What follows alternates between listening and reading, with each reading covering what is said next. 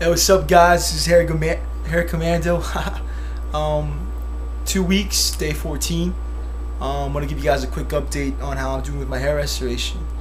And uh, as you guys can see uh, with my FUE hair transplant, hairline's actually looking really good. Um, can't really complain. Hair's looking pretty awesome at two weeks. The scabbing's starting to go away.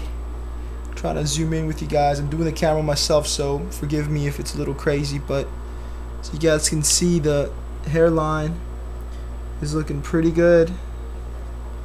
Um, scabbing's going away, like I said, and uh, yeah, it's starting to look natural. Um, still putting medicine on it, you know, doing treatment, but the hair is pretty much there already. Um, confidence is definitely improving.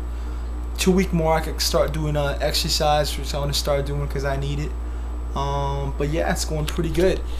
Now check out the scoring on the side from the surgery. You know, post surgery scoring. It's healing up really good. My hair is starting to grow, as you guys can see. I'm covering up. You can't really see it anymore. Um, on both sides. Here's the left side. Check it out. You can't really, you know, it's pretty much gone already. Um, check out the back. The back area, you guys can tell, pretty much clearing up. Hair's growing back as normal, and there's no scar. Which is awesome because I've been doing some research on those strip surgeries, and my God, they cut your flesh out. It's pretty horrible. Most importantly, though, the the beard. Check out the beard.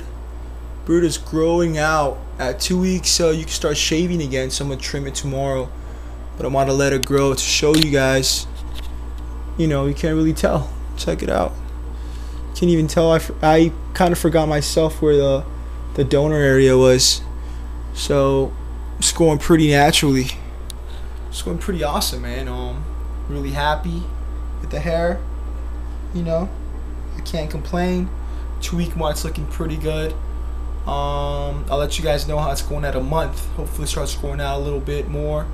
I kind of think it's starting to grow out now. I don't really know. Um, again, I think because the scabbing's off, uh, looks can be a little deceiving, but we'll see what's up. Very happy. Day 14. Hair Commando. Please shoot me any questions if you have any, and I'll get back to you um, as soon as possible. Again, there's a hair. Yeah, hit me back, man. Um, let me know what you guys were thinking.